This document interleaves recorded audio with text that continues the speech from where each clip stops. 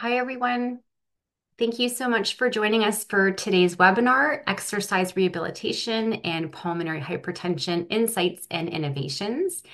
My name is Kimberly Brunel, and I am the Director of Strategic Initiatives at PHA Canada. I am joining you today from my home in Mississauga, Ontario. I'd like just to take a moment to acknowledge the lands which constitute the present-day city of Mississauga as being part of the treaty and traditional territory of the Mississaugas of the Credit First Nation, the Haudenosaunee Confederacy, and the Huron-Wendat and Wyandot nations. I am so very grateful to have the opportunity to live, work, and learn on these territories. So without further ado, I really like to welcome our speakers for today's session, Dr. Paul O and Dr. Dimitri Rozenberg. Dr. O is the Medical Director and GoodLife Fitness Chair in the Cardiovascular Disease Prevention and Rehabilitation Program at the University Health Network. He is an associate professor of medicine at the University of Toronto and also a senior scientist in the Kite Research Institute and also the medical director of the Toronto Rehab Clinical Research Unit. Dr. Dimitri Rozenberg is a respirologist at the University Health Network and an assistant professor at the University of Toronto. Dr. O, Dr. Rozenberg, I thank you both so much for being with us today. Without further ado, uh, I'll pass it over to you. Thanks, Kimberly, for the kind introduction, and uh, I guess we'll uh, get started. Um, the plan is for Dr. O and I to take turns presenting. Um, this will uh, be um, a didactic presentation, but we'll aim to take questions towards the end. So please use the chat or the Q&A option.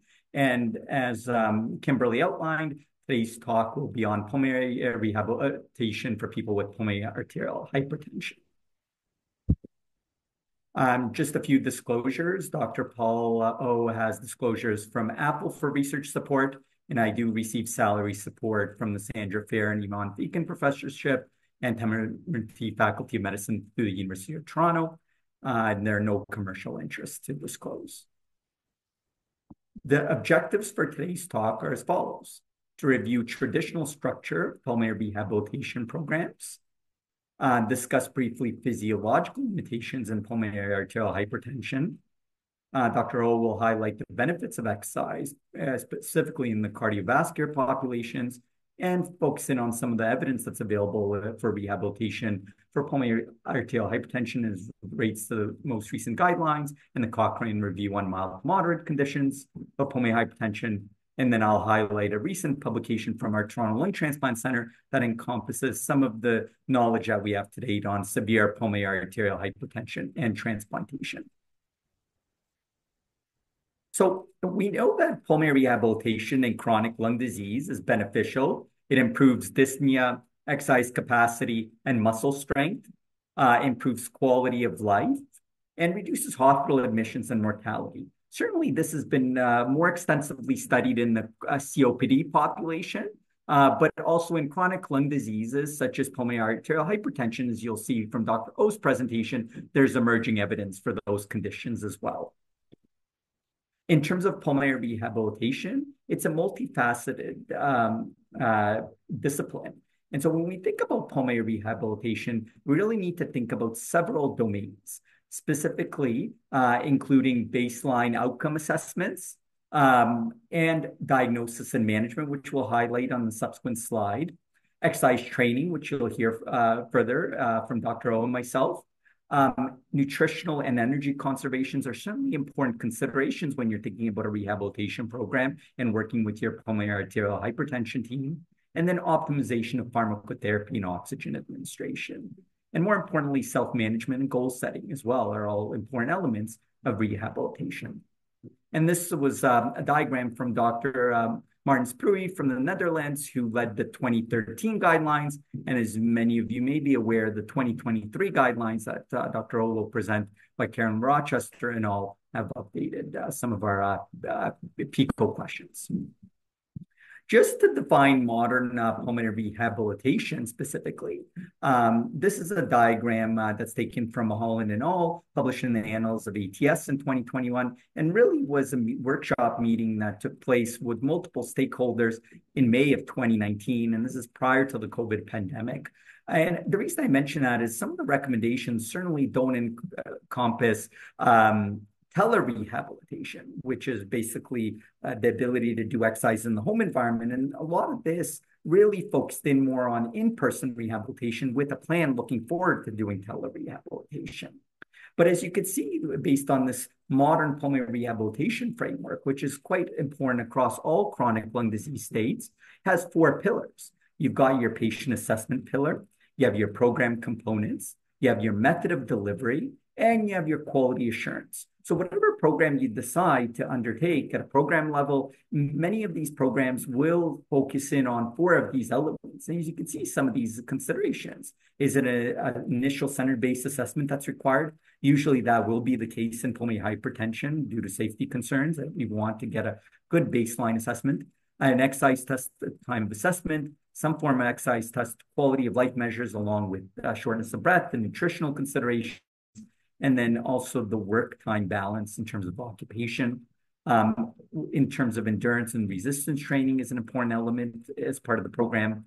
Um, and the program is needs to be individually tailored to the person uh, with multidisciplinary approach where there are multiple uh, players uh, and then healthcare professionals as well.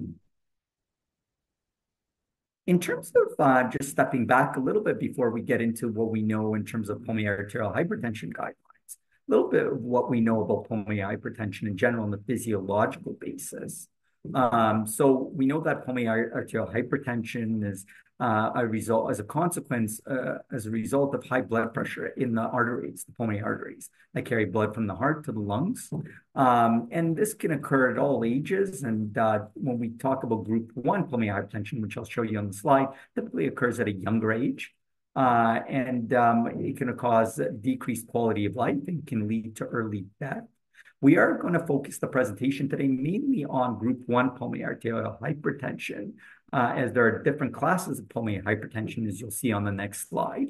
And what we do know, though, that exercise-based rehabilitation is safe and improves quality of life in individuals with low to moderate quality of evidence based on the guidelines. And certainly evidence is evolving. This is just a diagram taken from the Canadian uh, Society of Guidelines uh, on Pulmonary Hypertension. And as you can see, there are multiple different types of uh, pulmonary hypertension. Um, but really, today's talk will be focusing on group one, pulmonary arterial hypertension. And um, that can be caused from multiple causes. It can be caused due to connective tissue disease, so the rheumatological conditions.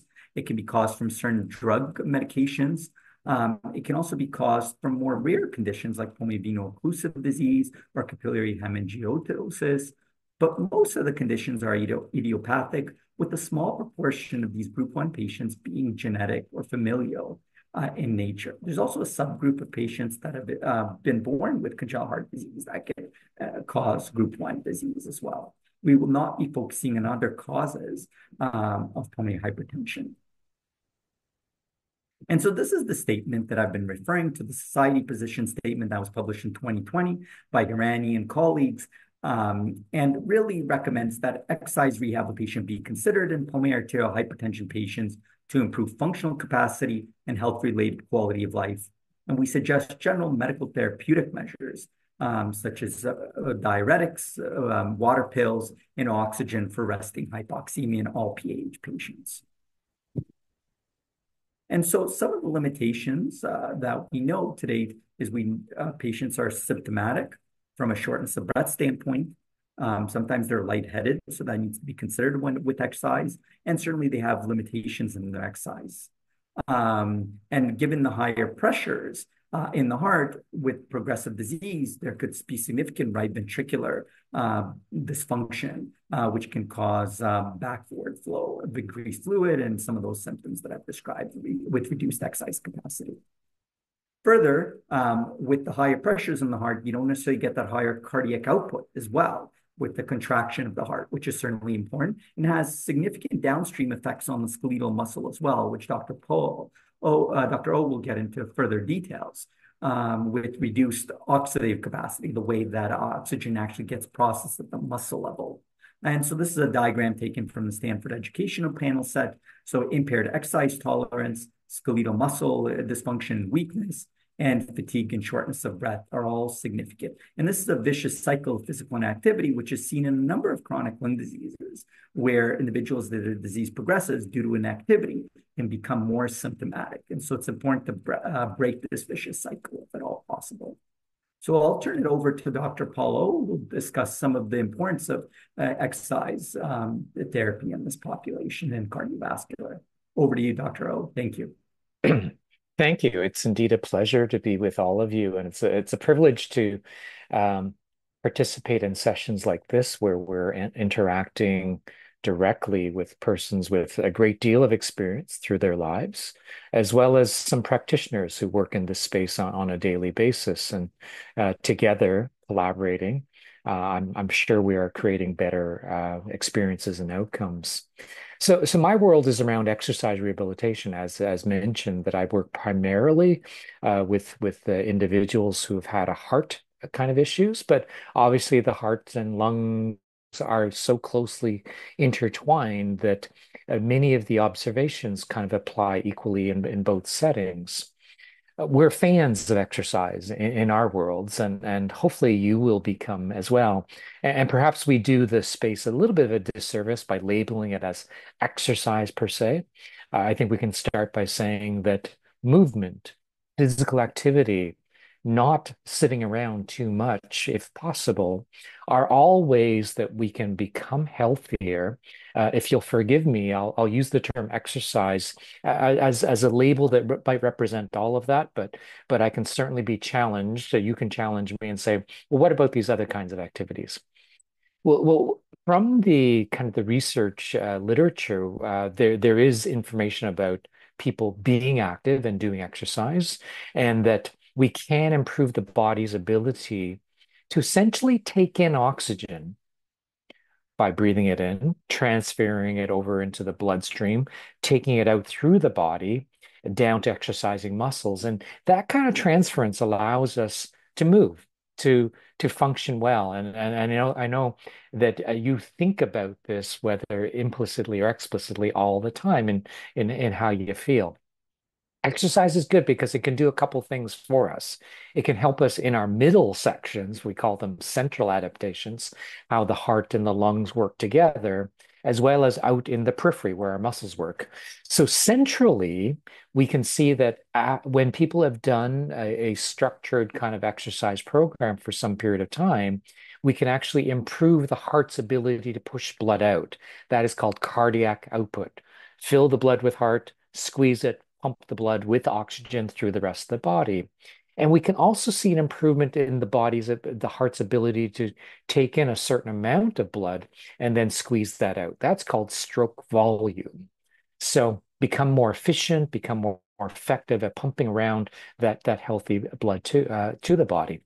The next slide talks about the other side of Let's push it out from the heart. Let's get it down to exercising muscles. And at the muscular level, of course, we're aware. Like if we if we uh, curl a bicep or, or activate our legs to make us work, that the muscles have to be strong themselves. But even at the microscopic level, that we have the uh, incredible ability of taking that oxygen and transforming it into energy it's called adenosine diphosphate or adenosine triphosphate or ATP. Think of that like batteries inside of our muscles that need to get energized and moved. And it depends on oxygen getting to those, those centers uh, to make things go. With exercise, we have greater abilities within the cells to generate that energy. We also have improvement in the amount of blood um, fibers, capillaries that that uh, surround the muscle, so we get more uh, blood flow and oxygen flow, and we can even change the composition of the muscle to make it into types of muscles that that allow us to be more activated. So great, great uh, adaptations that happen in our body, both centrally in terms of pushing blood out and at the muscle level in terms of taking that oxygen in and generating energy. Okay, next slide. So then th there then becomes uh, uh, a rationale uh, based upon medical research over time that then informs things like this document, which is the American Thoracic Society guideline that was published just over a year ago by Dr. Rozenberg's uh, colleagues. I'm not um, working particularly in this area specifically, but I do know a number of those authors uh, who have done really great work for many years. And the next slide will speak to what was in those guidelines. You know, guideline folks to bring a whole bunch of really smart people together every few years to look at what's new kind of in the literature or what are some unanswered questions.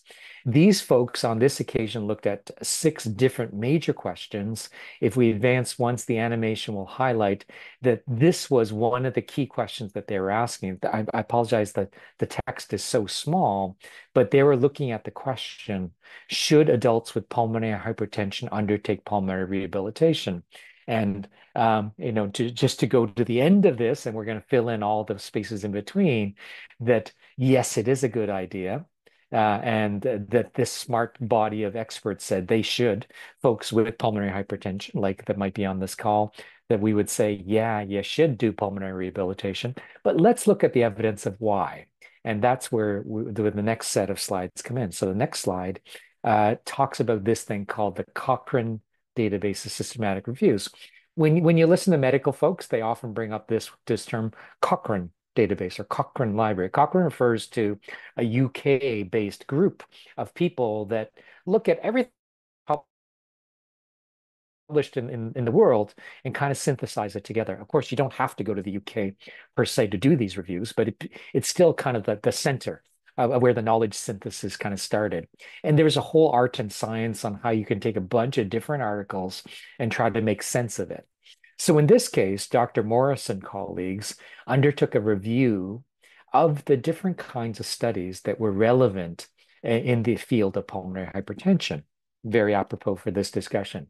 Next slide takes us into a little bit more detail on what they were looking at. So they, you got to start with a with a kind of a focus question, and their focus question was to evaluate both the benefits and the potential harms of exercise-based rehabilitation.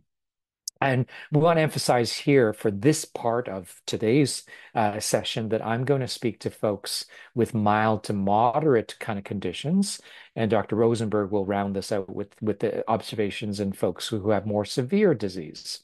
And we're comparing usual care versus, or, or I'm sorry, the exercise we have we're versus another group of folks that might have kind of usual care or, or, or really more specifically, no exercise-based rehabilitation. Next slide. So they, they looked at all of the medical literature that was available up until June of 2022. So then you'll say, well, gosh, you're already two years out of date, and you're absolutely right. The, the thing that happens with these guidelines processes or these uh, literature overviews is that they go to a certain date and then they become out of date. So there'll be another one, I'm sure, coming in the next number of months or years that will take the next uh, uh, slice of the, of the literature going um, forward. But what they looked at primarily, and this is important because we can have uh, so-called evidence from a whole bunch of different sources that may be good, that may be okay, or sometimes may just leave you scratching your head. Um, and the highest level of kind of medical evidence comes from these things called randomized control trials, where smart folks will will design a, a sort of an experiment that will compare one group versus another group. Those two groups kind of look the same, similar age, similar sex breakdown, similar medical profiles. But the only thing that will be different is what you may offer in terms of an intervention. It could be a drug, it could be a surgery, or in this case, it's rehabilitation with exercise. One group gets the exercise, the other group doesn't get the exercise. And then we look for findings between those two groups. So that's where the focus is. Um, and there are other kinds of evidence that don't go into this particular review of the literature. Next slide, please. So when you design one of these kinds of overviews, you select out, okay, I've got my group of interest, and now I want to look at some particular outcomes, and we have to be specific. And in this case, the authors decided that given that we're looking at the effect of an exercise program, the main thing that we're going to look at, first of all, is is there any measurable difference in exercise capacity? If you exercise, should you get stronger, fitter, able to do more? Let's answer that one first of all. The second thing that they want to look at, very importantly, is is it safe? Because many folks, including medical practitioners, wonder, hey, sometimes we're worried about people exercising because that might be unsafe. So let's just check that out and, and confirm. And then the third really important outcome, uh, certainly for folks on this call, is do I actually feel better from a physical perspective or a mental perspective or a social perspective? And, and what might the studies tell me about that? So that's wrapped up in this domain called health related quality of life. And I'm sure that all of these things are very familiar to you. And then in the course of reviews, uh, folks can choose to look at other kind of aspects, like what's going on with those pressures and the blood flow in the heart and the lungs, or how might we grade your ability to, to walk about and function during your day, or are people getting worse in terms of their medical conditions, or are there might there be some blood markers that we can look at as well? So those secondary outcomes, I've not, I have not included those because I thought that the first three, there was more than enough data for us to talk about right now. But if you're interested, please look at that Cochrane review and you can get more details about that. And there are summaries for the public that are also available uh, at the website as well. So let's advance the slides and let's look at the next kind of outcomes that we were looking at. So the the interventions of interest are rehab or exercise kind of programming. And the intervention involves typically in rehab both aerobic and strength or resistance training. And both of them are very important in the whole fitness and function equation. You need to do both to develop the best kind of outcomes around aerobic capacity, our abilities to walk and move, and muscle strength. Think my ability to get up and move around and lift things uh, through my day. We'll talk a little bit, a little bit more detail in the next slide about what we mean by aerobic exercise and the cartoon kind of stylizes all different kinds of things. And the and the answer is there's no just one thing. There's aerobic exercise excuse me. But the, the common feature about all of these activities is that they involve activation of big muscles in our legs, in our core, and our arms that move around over an extended period of time, usually repetitively, so that we can kind of stress out the heart just a little bit, just the right amount, and we can breathe a little bit harder so that we start to pump things around in our body. Um, and typically, aerobic exercise in the pulmonary uh, hypertension rehabilitation literature, the programs that were designed had aerobic exercise that lasted between 20 and 40 minutes in duration, customized to perhaps the activity that people could do that they enjoyed, and the duration then would fit um, what was tolerable for an individual. So 20 to 40 minutes. Remember in your head this rough number. If I can do this half an hour a day, then I'm doing pretty well. Next slide talks about the resistance component. And resistance exercises are those where we kind of stress our muscles against some some force that that's holding us back. This uh, and this builds strength. This cartoon or this panel is is an image from our own website uh, from our rehab program that we can share with you. They're they're good for people living with heart conditions, with heart failure. Some of those folks will have pulmonary hypertension as well.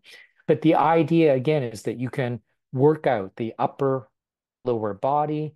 You'll see that nobody is doing squats and and and and huge deadlifts or bench presses here. It can be very light weights or it could be resistance bands where muscles are indeed getting stronger. Typically, we describe sets of exercises like do a bicep curl 10 times at a nice pace with just a little bit of resistance where we're feeling just a little bit short of breath with that. And, and, and that's the way to design a program. So think about upper body, core exercises, and lower body, and that's how we can get the whole body stronger. Next slide. So there are different ways of constructing aerobic and resistance together um, and delivering it in different kinds of settings. In the literature that was reviewed for this particular uh, um, um, um, publication, they looked at primarily supervised programs. That is, patients, persons with lived experience, we're working with a professional, an exercise professional, maybe a kinesiologist or a physiotherapist or a nurse um, who was meeting with that individual on an outpatient basis or sometimes on an inpatient basis. But very importantly, this need not be face to face directly, that it could also be remote. And Dr. Rozenberg is going to talk about some of those remote opportunities. Typically, folks met together two or three times per week for at least four weeks. And in our rehab programs that we offer up, we may meet face to face once or twice or three times a week, but we also invite people to do a couple more days a week so that we get a dose of exercise about five days per week. 30 minutes a day, five days a week equals 150 minutes per week. Four weeks, I would say, is minimum to get us started and get those muscles and heart adaptations going. I would say if we can get to eight, 12, or even more, as a program, then we're starting to see some really good physiologic changes. And then the magic happens, of course, when we all embrace this as a lifestyle, that this is things that we need to do on a daily basis. This is part of our work forevermore. And that's how we get healthy and stay healthy. In terms of how hard the exercise needs to be, we, we label that as intensity. Um, how hard are you working? And, you know, intensities can be characterized as light, they can be moderate or medium, or they can be high, uh, very vigorous. And for many people who are living with a condition affecting the heart or lungs, we might want to start a little bit lower, move into the moderate territory. For some special situations, we could move to higher, but the moderate kind of space is nice. It's kind of the Goldilocks principle. Not too little, not too much, but just right. And if we can build that routine, then we see those adaptations in heart and lungs and muscles to help us feel better overall and get us training. Okay. So next slide. Finally, we're going to get to some results. I think there was a question that popped up. Tell us what's going on. Okay. So when we up um, when folks apply themselves and and and kind of enter into those rehabilitation kinds of programs, we can do some measurements of effect. And we said we want to look at does exercise change exercise capacity? Well, and the answer is yes. We can measure exercise capacity in different ways, and one of them is simply a walked distance. You know, if you've gone to programs uh, pulmonary programs or you've seen your healthcare team, they may ask you to walk for six minutes in the corridor. Typically, walk for 30 meters, turn around, come back, turn around, keep going, and walk as far as you can in six minutes.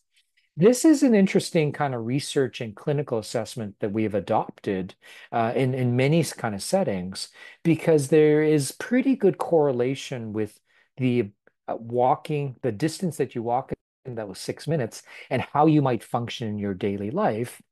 And if you enter, if you enter a program and do this, uh, this kind of exercise programming, physical activity, movement over that period of time, and if you can gain about 50 meters in distance, well, that uh, often associated with better health outcomes over the long term. So that's really cool. So interestingly, in the pulmonary hypertension rehab literature, when they looked at exercise capacity as measured by six-minute walks, people that did not do the rehab programs tended to be stay the same, or in fact get a little bit worse in their abilities to walk six minutes when they checked at the baseline in 12 weeks. But folks who did the rehab programs gained about 50 meters, interestingly. And this was seen as an important and large increase in that six minute walk distance. Next slide will take us through one more result of exercise capacity, I believe, um, as measured by peak oxygen capacity. And this is the body's ability to bring in oxygen via lungs to heart, circulate it out to muscles, extract it, and then generate the horsepower that we talked about before. And in the people that don't do exercise, no surprise that people don't get better in their oxygen capacity. It stays the same or gets a little bit worse. In contrast, people who do exercise will enjoy a gain in this oxygen capacity. Think about like gaining horsepower for your car. And this magnitude of change of two milliliters of oxygen per kilogram of body weight per minute is actually quite a substantial increase in people's ability to kind of bring in utilized, bring in, deliver utilized oxygen. And again, higher VO2 means more horsepower, and it also translates to better health, health outcomes down the road. And then the next one will take us through the quality of life measure, I believe. Yeah. So when uh, quality of life was assessed for people that did not do exercise, no surprise. Quality of life as measured by physical questions, like your ability to do stuff, and mental questions, like how do you feel? Well, it tends to stay the same or, in fact, get worse if you don't do exercise rehab programs, but it improves substantially if you do the exercise programming. So there's lots of really good benefits of the exercise rehab program. Next slide will say, well, is there a downside to this? And their summary of the serious adverse events that happened through the course of the studies involving several hundred people. Well, in the people that didn't exercise, there was actually one bad thing that happened, like an injury or hospitalization. But in the folks who did exercise, there were none. Now, I can't say that exercise is perfect and it's perfectly safe for everybody, but on balance, there wasn't a signal that things were going to get a whole lot worse. Um, so, uh, kind of my my feeling about this is that not uncommonly people are told, well, just sit, just rest, don't get active, don't do the physical activity because that might be dangerous for you. In fact, my feeling is the opposite, that it's very important for us to get active in a safe way because it leads to all of these kinds of benefits. And if you don't do it, it's actually a whole lot worse. Consider that an adverse event. Okay, a couple more slides just to round out my section. I'll flip it back to Dr. Rozenberg. So not surprisingly then, the American Thoracic Society guidelines kind of took this evidence as well as a bunch of other studies to say these as their conclusions. For people with pulmonary hypertension, including those with pulmonary arterial hypertension, we found evidence that rehabilitation delivered important improvements in the critical outcomes of exercise capacity and that there were improvements in quality of life um, and for people with P, uh, pulmonary hypertension undertaking the rehab programs, as Dr. Rozenberg showed, that it's not just about exercise. We focused on that right now, but there's other important things that happen, like education about how to exercise safely and how to live with uh, well with the condition, how to modify activities, how to conserve energy, and undertaking the supervised exercise sessions was was deemed to be a value not only to exercise but to engage with others and to receive, receive psychological support was really quite important here as well uh, as part of the programs. And the final slide for my section, I think, is that they did not find any safety concerns with the exercise. But of course, we will want to be mindful, and you will want to be mindful that if there are any kind of yellow flags or red flags to go up, like my chest is hurting or I'm feeling like my heart is racing, especially irregularly, or I'm feeling dizzy, then those are flags to us to adjust the exercise programs. Take a rest right now, maybe do something a little bit differently, but it can be done and it can be done safely. Thanks. I think that's my section and I'm turning it over to you. Thank, thank you, Dr. O, for that nice overview of the literature. And so Dr. O covered what we know to date on uh, pulmonary hypertension is that it relates to the mild to moderate disease states. Not going to get into the clinical side of things, how we define mild to moderate, but oftentimes uh, clinically we focus in on symptoms, how far you can walk, that six-minute walk test that Dr. Uh, o described. And part of that also depends on how recent your diagnosis was.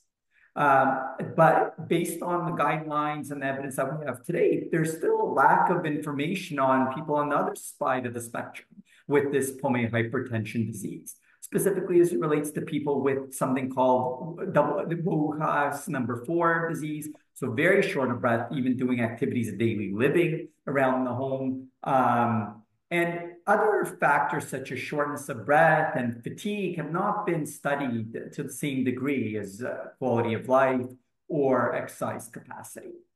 Um, and in terms of long-term benefits, talking about a year and a half to two years out, and even five-year outcomes with rehabilitation, how to maintain that program uh, have not been studied to the same degree as in other disease states. And then the other area that's emerging, and we still don't know how to tackle it in pulmonary arterial hypertension, is how do we deliver safe exercise in the home environment is what we call telerehabilitation. Because most of the studies that were shown today so far have really been in-person, um, facility-based uh, exercise, and something we can discuss as well towards the end. And so I'd like to present to you our experience with the Toronto Lung Transplant Program, which is one of the largest programs in the world uh, that has a large pulmonary arterial hypertension, relatively large. Um, I mean, if you think about it, it's around 5% that get transplanted with pulmonary hypertension. Um, however, we looked at our experience over a five-year period, and we just recently published that. And this was a cohort from 2014 to 2019, so pre-COVID. Um, we know that individuals on the wait list have significant symptoms. Uh, shortness of breath, they can experience lightheadedness and experience those day-to-day activities. Um, and in our program and many programs around the world, pulmonary rehabilitation before lung transplantation is mandatory uh, to develop that muscle strength and that fitness to, uh, to tolerate the surgery. And so we really wanted to describe our experience uh, with regards to exercise and tolerance and safety in this group of very severe uh, pulmonary arterial hypertension patients that experience NYHA class three to four symptoms. So very significant shortness of breath, despite being on multiple uh, pharmacotherapy agents. I'll show. And so, as I highlighted, this was our single-centered retrospective experience. We were able to identify 40 uh, individuals that were listed that had group one pulmonary arterial hypertension. And the mean age of these individuals was around 50 years old. The uh, three quarters were female, and the mean pulmonary arterial pressure was around 53. Uh, and remember, um, a diagnosis of pulmonary arterial hypertension is made when that pressure is above 20 at rest on a right heart catheterization. And certainly this is considered very severe disease when you've got values in the 50, especially on pharmacotherapy at the time of lung transplant listing. And so we looked at these individuals who are required to exercise in our program three times a week, coming in person. Uh, we looked at their ability to what they could do on the treadmill, what they can do in terms of their big muscles, uh, the biceps and the quadriceps uh, muscles, uh, and looked at their aerobic training as well. So I'll highlight as well.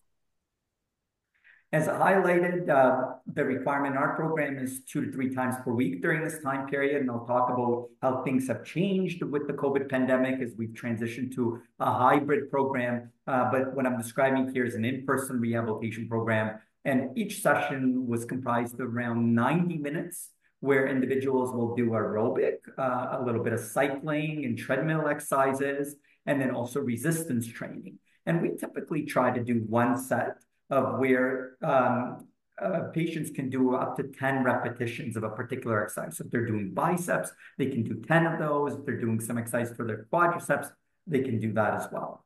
And we've described our rehabilitation experience. Uh, Lisa Wickerson and colleagues have described in the World Journal of Transplant in 2016 in more detail. But ultimately, for the pulmonary hypertension group, we tried to focus on a, something called the modified Borg dyspnea score, be, maintaining around two to three, which is considered mild, kind of borderline moderate dyspnea.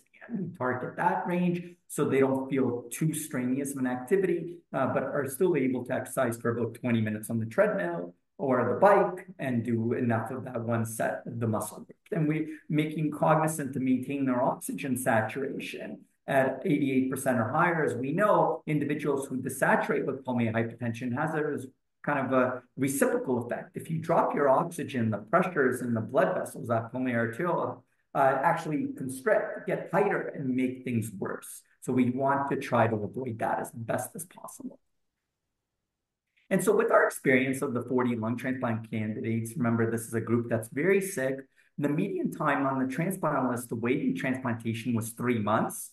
We had 34 patients that uh, went, went on to be transplanted, as you could see in uh, green uh, lines. And four patients, unfortunately, had passed away on the while waiting for transplantation. And then two patients were medically delisted for other causes outside of their cardiopulmonary limitations.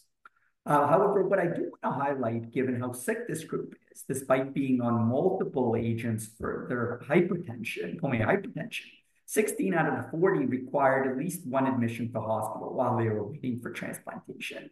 Uh, and the good thing is these individuals were able to return back to rehabilitation. So nine out of the 16 now had at least one admission were able to return to outpatient rehabilitation, where seven have to wait in hospital for transplantation, highlighting the importance of delivering rehabilitation in the inpatient setting as well. And that's something that needs to be considered and developed further, uh, specifically in this patient population. I want to highlight that many of the patients required supplemental oxygen. So more than 50% in this group needed supplemental oxygen, and it was quite variable. Um, so uh, anywhere from one to four liters, five to nine liters, 10 to 12 liters, and some even needed 15 or more of oxygen. Um, similar to the Cochrane review, we did not observe any major cardiovascular events related to physical exertion or PH therapy.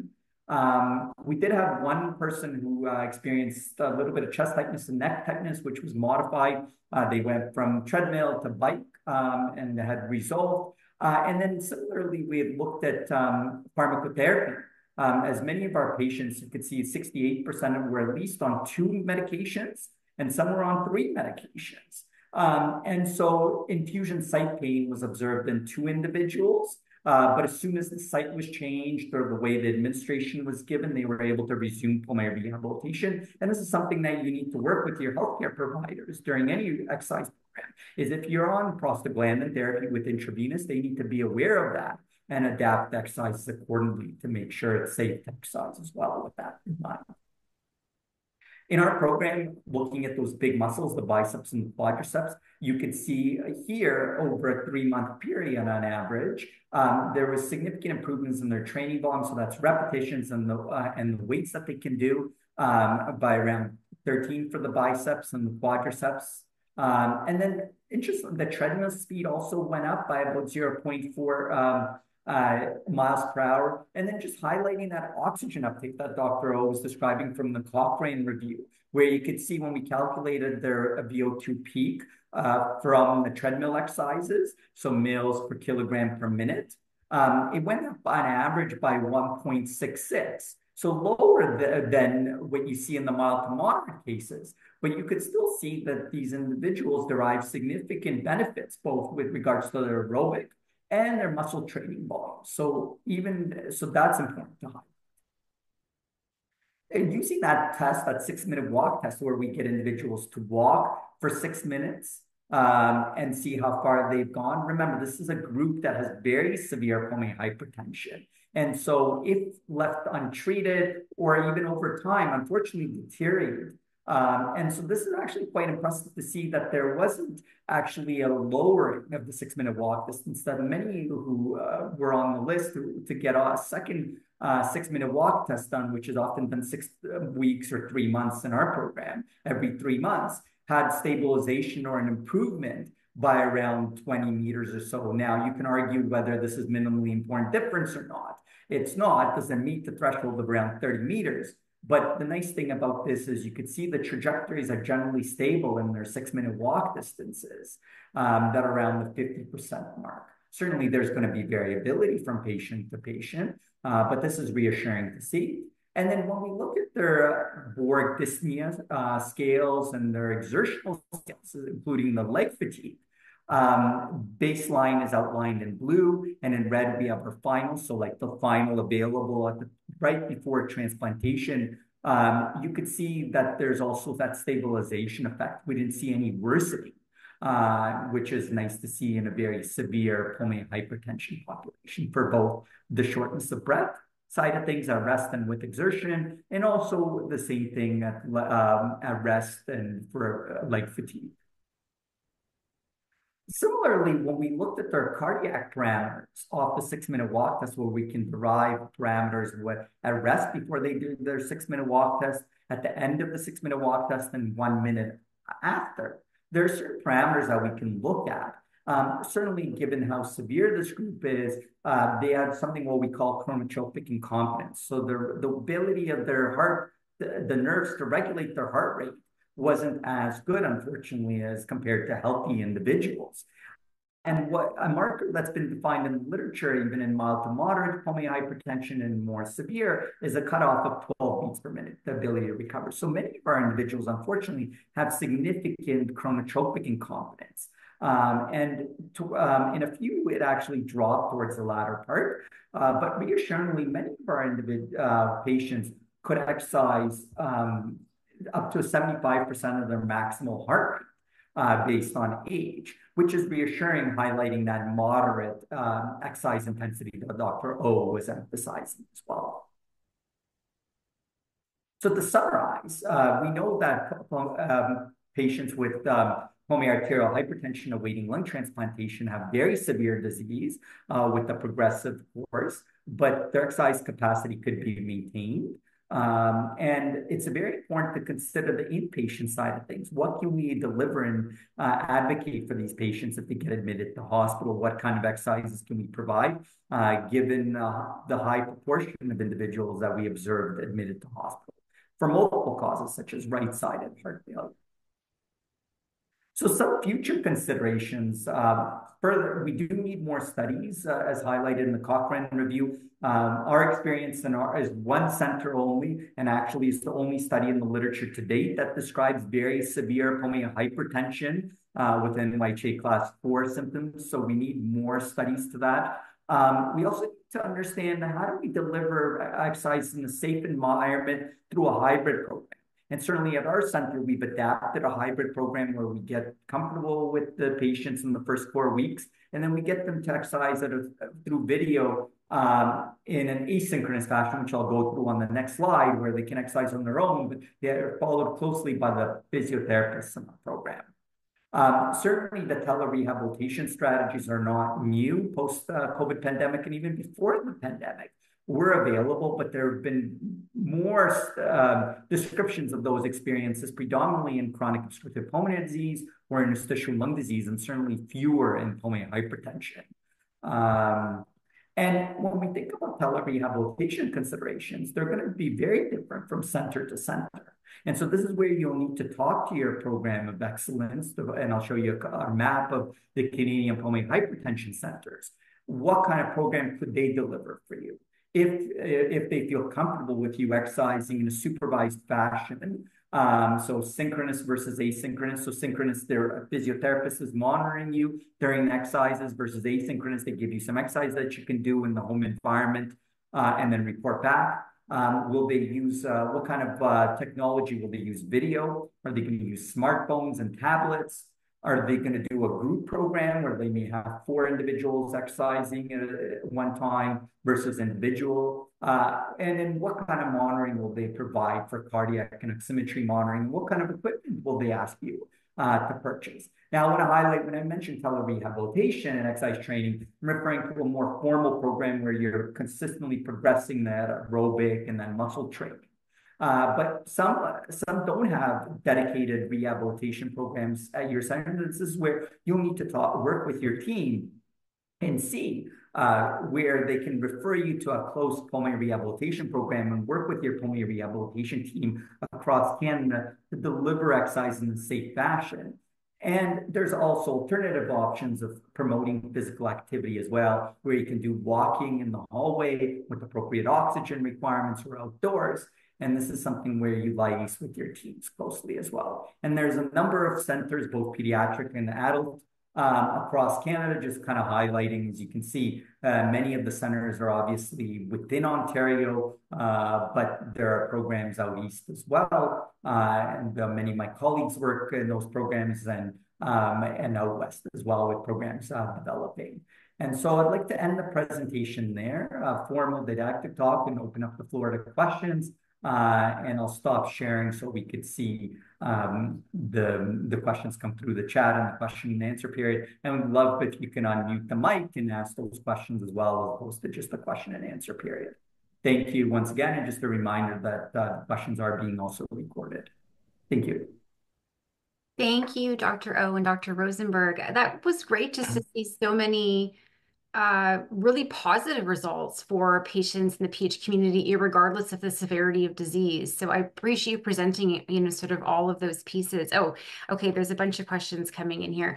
Um, Dr. O, I think you already addressed, uh, Sharon had a question about BNP. I wonder if perhaps you could just summarize your um, response, just in case folks didn't see it in the um, in the chat. So Sharon is asking about some of the preliminary results that Dr. O had presented. It was asking about if there were any um, changes in BNP results.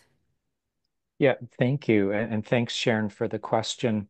Uh, we know that BNP is, is sort of a marker of stress in the heart, right? And, and in my, my world, that uh, when uh, folks are experiencing greater difficulties with the heart or so-called heart dysfunction or heart failure, that those BNP levels may be high, especially under periods of stress. Uh, one of the things that we look at for the heart to be kind of in a more restful state is for those BNP levels to go down. Theoretically, exercise might be one of those ways of, of relaxing the heart and bringing those levels down. So it's a great question in the literature synthesis from the Cochrane review, there are only like four studies um, out of the out of the 16 or so that actually measured BNP. Numerically, the value was a little bit lower, but there wasn't enough certainty in that data to make any conclusion. So the author said that there's no difference with exercise or no exercise in the BNP levels. It doesn't mean that one doesn't exist, but at least in the studies that have been done to date, they're unable to document a, a difference in those levels. I still think exercise is good though. Agreed. And like you said, there's so many other things that impact your BNP levels from minute to minute, day to day that um, I'm sure there's exercise benefits, but probably hard to measure. Um, so Taria's got a question here in the chat. I'll, I'll do my best to summarize it. Um, I, I think a lot of patients uh, will have said this to us before that there is an often a high cost to exercise. So folks will do a little bit one day and then, as Taria mentions, pay for it for a couple days later and sort of have to be in bed and can't do very much. And so sometimes exercise feels like it's not really worth it because you you just can't really bounce back a day or two later. Um, so she has a question. Do you have any suggestions for getting over that hump to get to a place where I can exercise enough to gain some of the longer term benefits? Maybe Dr. O can entertain that question. Okay, I can start, and then I, I think uh, Dr. Rozenberg, like the mm -hmm. the conversations that we often have around energy conservation, I'd love to hear your thoughts about it as well. And um, so I would say one, thank you for kind of sharing your experience, and um, we have great empathy for the notion that it's sometimes it's hard get getting through the day right there's we're busy there's many things that that uh, are pull on our time and our energy uh, we recognize that with certain conditions, whether they're heart or lung or other kinds of conditions, we've seen this in COVID, for instance, that folks sometimes feel like they've got a fixed envelope of energy or the battery that only has certain capacity. And once we use that, it really drains down. If we drain it too much, boy, it's actually hard to recover. It takes a full day or more to recharge it. So it's kind of being aware of that as much as possible of how much energy we have in any given day and finding the opportunity to work within that capacity. And progress can be very small. I'm encouraged by the the the comment in the Q&A of someone sharing their experience that it took a long time to build up to 30 minutes. And sometimes our notions of exercise is, oh boy, I better buy the new shoes and the spandex and get out there and start running. And we know that that's a recipe for for not being able to get to the places that we want. So let's go slow. Let's think about the other activities that we're doing. Sometimes thinking if I'm doing an exercise or physical activity day, maybe I could back off on something else that day because there's only so much uh, and building it from there.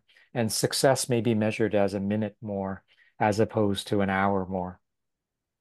Yeah. And Dr. Rozenberg? Thank you, uh, Dr. O, for that overview. Um, and I, I echo the same, uh, Taria, and thank you for sharing that experience. It's not an uncommon experience uh, for many uh, individuals with pulmonary arterial hypertension. Um, and chronic lung disease. One thing that we need to be mindful of, and something you can check for sure, uh, is get a, a, good oximeter, check your oxygen saturation levels to make sure you're not dropping into that 80% range, because that could also give you some fatigue and talk to your healthcare provider. Look at your heart rate response. Um, uh, but setting realistic and small goals, and if, if it's a long workday, then maybe you need to break it up and not do exercise that day and, then try to kind of see like hmm, maybe I'll get one day in on the weekend and maybe midweek. Uh, but certainly from a medical standpoint, something to just keep an eye on your oxygen saturation, heart rate, listen to your muscles as well to make sure there's not a delayed muscle soreness. You may have to back off a little bit if the weights are too much or you're uh, doing uh, a bit too much walking, but slow uh, may, definitely will make progress and we get adjusted for that endurance level. Would that help? Great advice. Thanks for the question, Taria. Uh, Sharon mentions in the chat that she is in a healthy heart cardiovascular exercise program with the Y. It's live live on Zoom, life changing. I know there's lots of great virtual programs. Um, perhaps afterwards, uh, Dr. Dr. Rozenberg, if you have any that we can share with the community that are either on YouTube or through the programs that you work on, I'd be happy to to share those. Um, I have an anonymous question in the chat.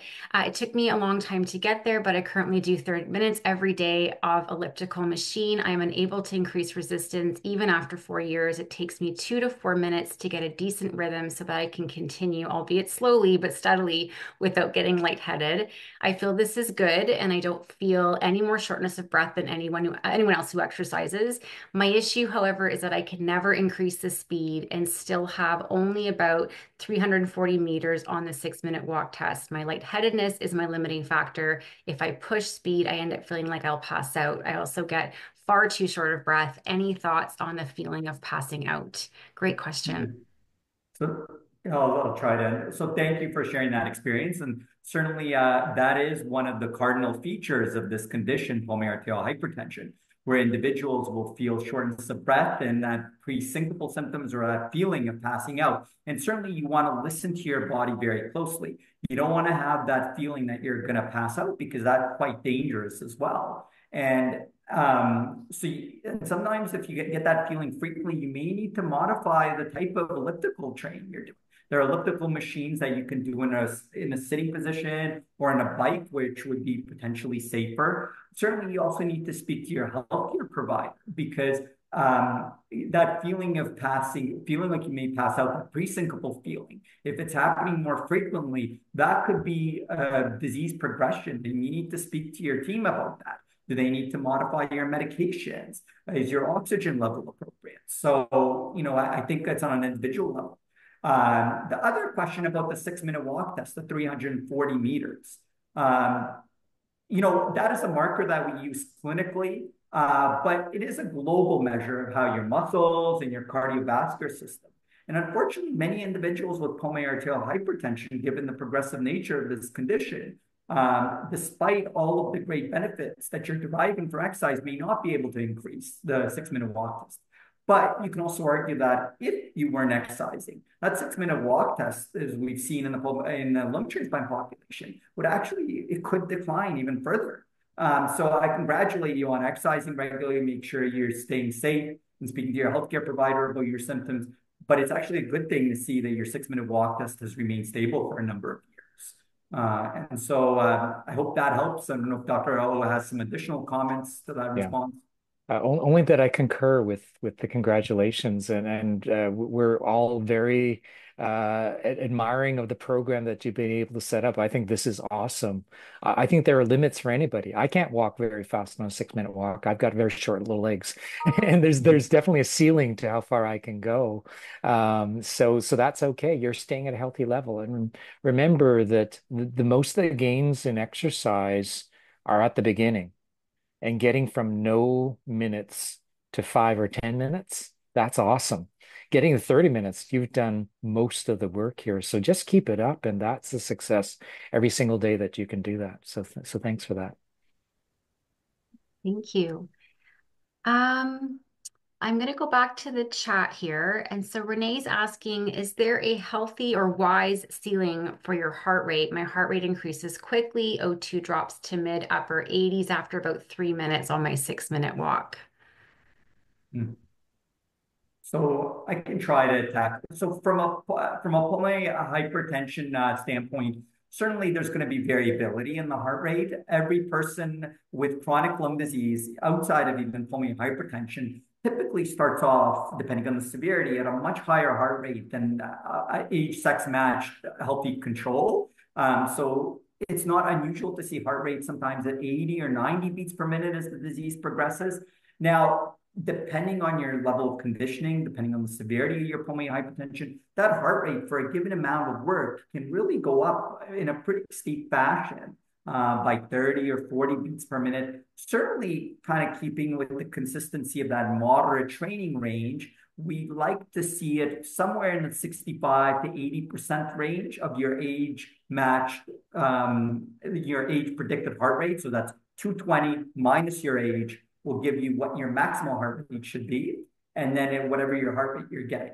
With that said, though, once again, it's going to be very different per individual, depending on what you're doing. You need to listen to your symptoms. That's the more important thing.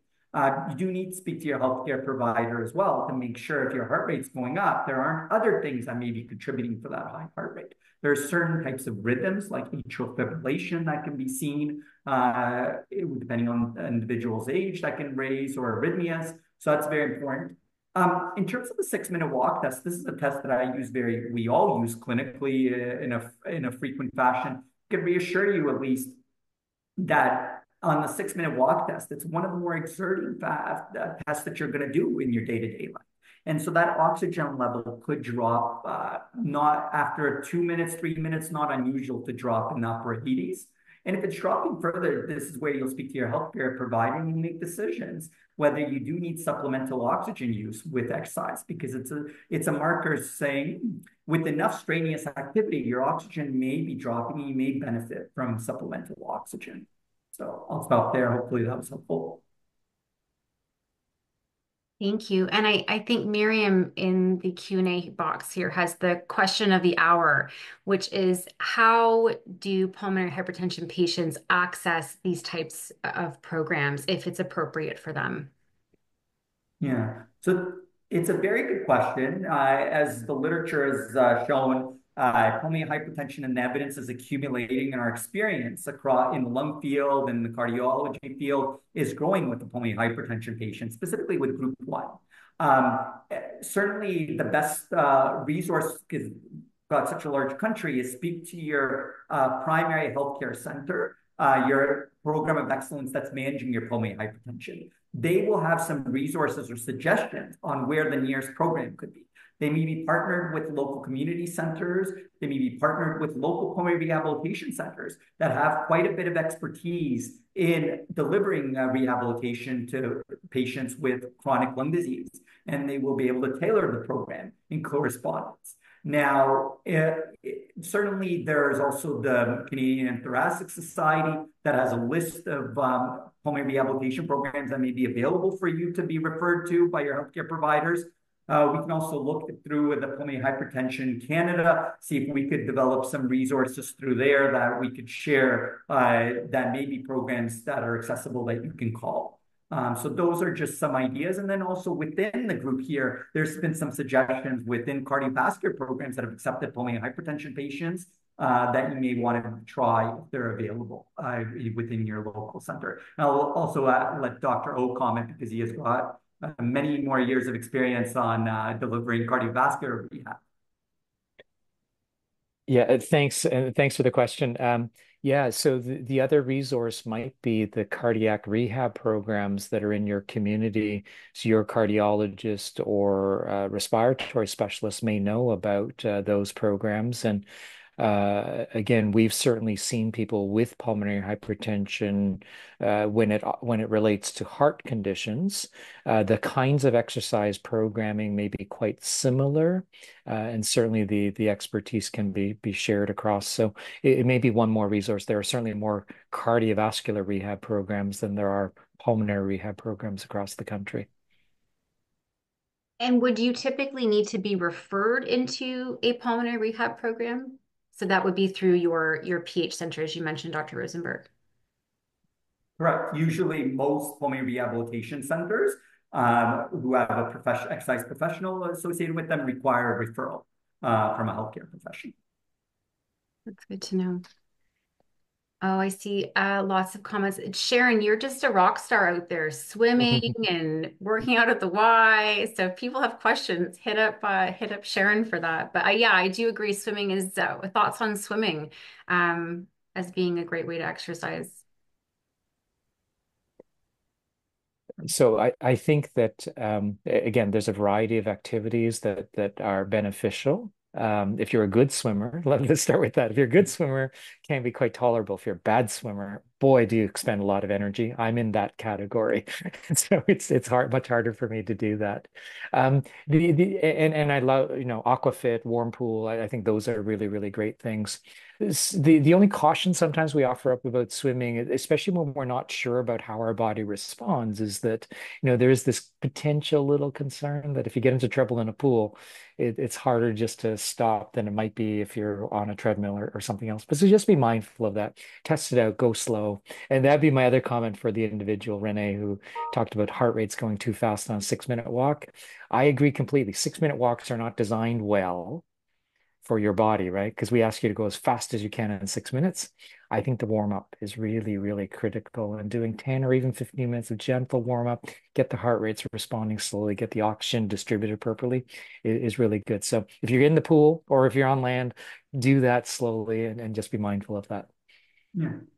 And just want to add as well, I mean, uh, obviously it's a diverse group that we have here today with different disease severities, but uh, swimming or other activities, you need to work with your healthcare providers and just be mindful. Swimming uh, is reasonable with oxygen if you can put that oxygen tank at the side, uh, but may not be as practical. And then also with prostaglandin therapy, intravenous therapy, infusion therapy may not be as practical with water considerations.